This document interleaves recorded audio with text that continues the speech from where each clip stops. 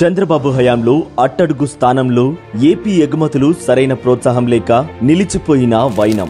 జగనన్న రాకతో వ్యాపారుల ఎగుమతుల రంగానికి సువర్ణ యుగం మొదలైంది. నీతి ఆయోగ్ ఏటా ప్రకటించే ఎగుమతుల సన్నద్ధత సూచీ ర్యాంకుల్లో ఆంధ్రప్రదేశ్ మరోసారి తన స్థానాన్ని మెరుగుపరుచుకుంది.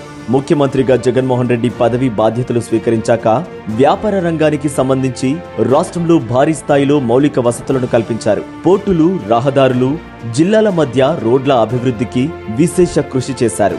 దీంతో చంద్రబాబు హయాంలో ఎగుమతుల రంగంలో దేశంలో అట్టడుగున ఇరవైవ స్థానంలో ఉన్న ఏపీ జగనన్న ప్రభుత్వం కృషితో ఎనిమిదవ ర్యాంకుకు ఎగబాకింది. కేవలం రెండేళ్ళలోని పన్నెండు స్థానాలకు మెరుగుపరుచుకుని సత్తా చాటింది. కోస్తా తీరం కలిగిన రాష్ట్రాలు ఎనిమిది ఉంటే ఈ విభాగంలో ఆంధ్రప్రదేశ్ ఐదో స్థానంలో నిలిచింది. ఎగుమతుల పాలసీలో నాలుగో స్థానం ఎగుమతుల ఎకోసిస్టంలో ఆరవ స్థానం దక్కించుకోవడం జగనన్న పాలనా దక్షతకు నిదర్శనం.